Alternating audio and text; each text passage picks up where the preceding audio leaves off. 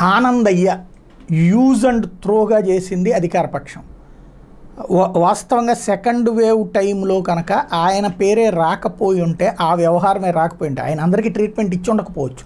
But అదే రాకపోతే ఇప్పటికి కూడా ఆ భయాందోళనలతో వణికించేది కొనసాగుతూ ఉండేది.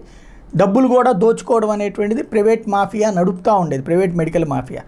అప్పటిదాకా ఏది దానికోసమనే మెడికల్ మాఫియా అంతా కలిసి దాని మీద రచ్చరచ్చ చేసి కోర్టుల దాకా వెళ్ళి ఆపించే ప్రయత్నం చేసింది కూడా ఆనందయ్య మందుకు సంబంధించి.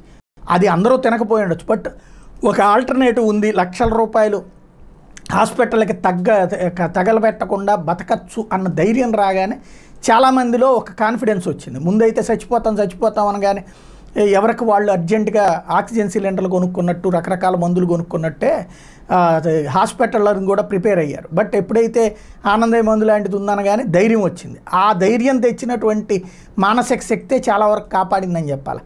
ఇక్కడ ఎన్ని ట్రీట్మెంట్ ఇచ్చినా కూడా మానసికంగా స్ట్రాంగ్గా లేనప్పుడు ఆ ట్రీట్మెంట్ పనిచేయవని వైద్యుల్లోనే చెప్తుంటారు మ్యాక్సిమం ఇకపోతే ఇప్పుడు ఆనందయ మందుకు సంబంధించి ఆ కంటి మందులు వీటి గురించి అంటే రాష్ట్ర ప్రభుత్వానికి సంబంధించి ప్రభుత్వం తరపునేమో దాన్ని ఎప్పటికప్పుడు అడ్డుకోవడానికే ప్రయత్నిస్తున్నారు.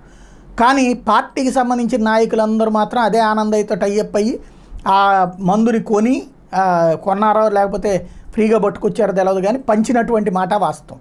అంటే పార్టీకి పనికొచ్చిన ఆనందయ్య ప్రభుత్వానికి మాత్రం పనికిరాలేదు. నిన్న హైకోర్టు అదే చెప్పింది. సాంకేతిక కారణాలు చెప్పి అట్లాంటి ఆల్టర్నేటివ్ వైద్యాన్ని చెడగొట్టబాకండ్రా నాయన అని చెప్పింది. బట్ వీళ్ళకి ఇక్కడ ఏంటంటే పేరు అంటే జగన్మోహన్ రెడ్డి గారి పేరు తప్పించి ఇంకెవ్వరికి రాకూడదు. అంతా ఆయనే చేశాడని పిచ్చాలి. ఆనందయ్య పేరు వస్తే జగన్మోహన్ రెడ్డి గారికి ఏమైనా ఓట్లు పోతాయా? బట్ అది కూడా తట్టుకోలేనంతటి ఒక ఇగోయిస్టిక్ యాటిట్యూడ్ అనేది స్టేట్ గవర్నమెంట్కి అవసరం అనేది ఆలోచించుకోవాలన్నమాట